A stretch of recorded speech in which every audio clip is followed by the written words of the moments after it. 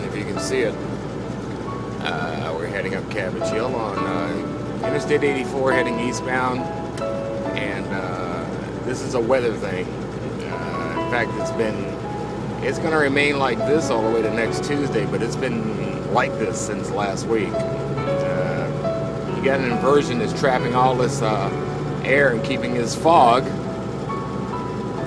right where it's at. It's not moving. It hasn't moved. And uh, go up Cabbage Hill, which happens to be the most dangerous hill in the United States, uh, I'm glad I'm doing it in the daytime. I came up here at night and I couldn't see the road. I remember one time, and I'll never forget that. But when I got to the top, it was nice and clear, and I said, "Oh wow, this is what heaven looks like." Had a full moon when I came out of it, so uh, we're gonna be okay. But uh, this is trucking, and uh, comes to weather, believe it or not, when you get fog, which is nothing more than a cloud that's on the ground, uh, you get this. So uh, have a great day. It's the 17th of December, getting close to Christmas, and uh, once I get to the top of this hill, it'll be a little bit better. In fact, I'll show it to you when I get there. But uh, thought I'd share that with you. Have yourself a nice day, and uh, enjoy the weather. it is the only weather you got.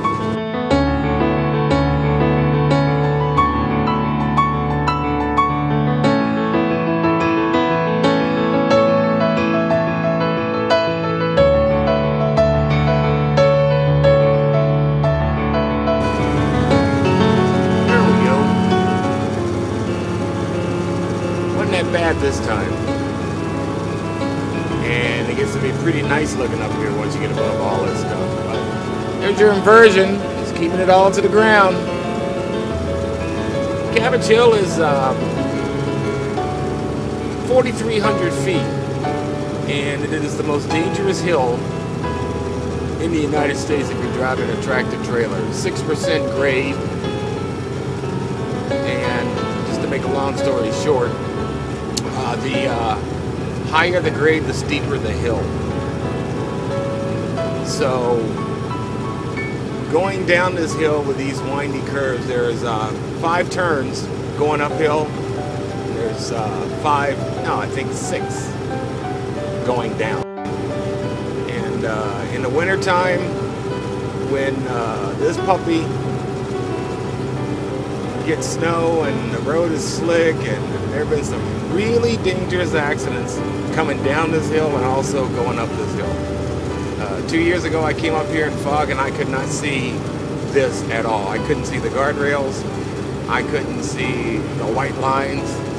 Uh, when I got to the top of the hill I came out and there was a full moon. But uh, this is what they talk about. This is what truckers talk about when they go up Cabbage Hill and down Cabbage Hill. And uh, one of the things about going down steep hills, regardless of whether it's cabbage or whatever, uh, you got to respect it because uh, if you think you got it, you don't.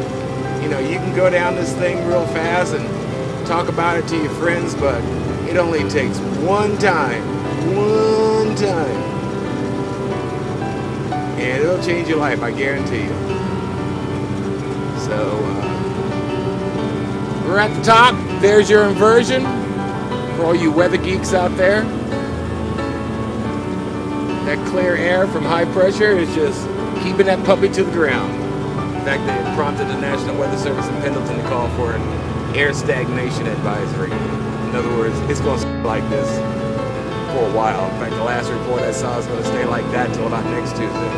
So, there you have it.